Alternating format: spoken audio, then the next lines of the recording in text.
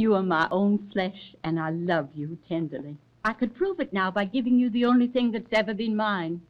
But please, sister, let this one thing belong to me. You speak of giving.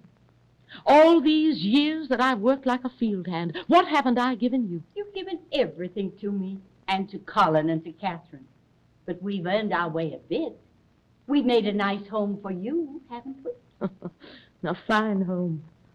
Has it not struck you that I've never invited anyone into this house, and for a very simple reason, I'm ashamed to? Oh, I'm sorry. I always thought there was a place for us here, that you needed us somehow. But it will be all right, Verena. We'll go away. oh, Dolly, dear.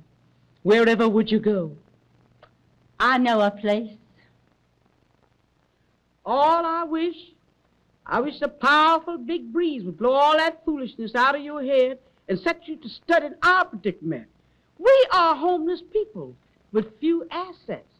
Exactly now, what are our assets? We have $43.35 and my cameo. You recall how we read in the paper where a man bought a castle across the ocean and brought it every bit back home with him? If he could do that, what's to keep us from loading some of the rooms of our house on a wagon and hauling it down here to the tree? Nothing, except it's not our house. It belongs to Verena. Oh, you're wrong, Sugar.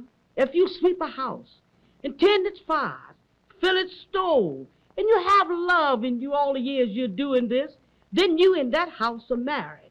That house is yours. The way I see it, the house up there belongs to us.